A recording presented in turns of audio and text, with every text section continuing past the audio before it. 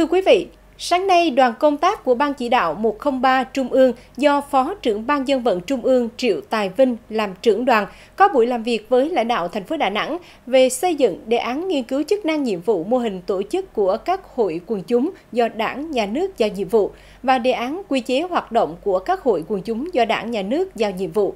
Dự buổi làm việc với đoàn công tác Trung ương có Ủy viên dự khuyết Ban chấp hành Trung ương Đảng, Phó Bí thư Thường trực Thành ủy, Chủ tịch Hội đồng Nhân dân thành phố Lương Nguyễn Minh Triết, trưởng Ban dân vận Thành ủy Lê Văn Trung, bà Phó Chủ tịch Ủy ban Nhân dân thành phố Ngô Thị Kim Yến.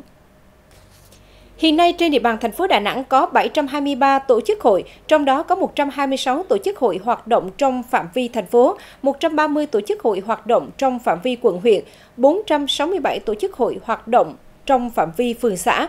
Trong thời gian qua, nhất là từ khi thực hiện chỉ thị 17 và chỉ thị 25, công tác quản lý nhà nước đối với hoạt động và tổ chức hội đặc thù được tăng cường, sự phối hợp các ngành mặt trận và các đoàn thể chính trị với các hội có chuyển biến, việc phân công, phân cấp về công tác quản lý hội được cụ thể, kịp thời nắm bắt và tháo gỡ những khó khăn, tạo điều kiện thuận lợi để các hội tổ chức hoạt động, thành phố củng cố nâng cao chất lượng hoạt động của các hội đã thành lập, không công nhận thêm hội có tính chất đặc thù theo đúng tinh thần kết luận số 102. Bên cạnh đó, các hội hoạt động theo đúng pháp luật, điều lệ, tôn chỉ, mục đích, tập trung vận động tập hợp giúp đỡ hội viên tích cực tham gia những vấn đề xã hội và thực hiện nhiệm vụ được đảng, nhà nước giao. Theo đó, Ban Thường vụ Thành ủy đề nghị Trung ương sớm sửa đổi bổ sung Nghị định số 45-2010 ngày 21 tháng 4 năm 2010 đối với nội dung quy định hướng dẫn thực hiện cơ chế khoán hoặc hỗ trợ kinh phí gắn với nhiệm vụ giao đối với các hội được đảng nhà nước giao nhiệm vụ, nghiên cứu bổ sung quy định mở về độ tuổi tham gia lãnh đạo hội,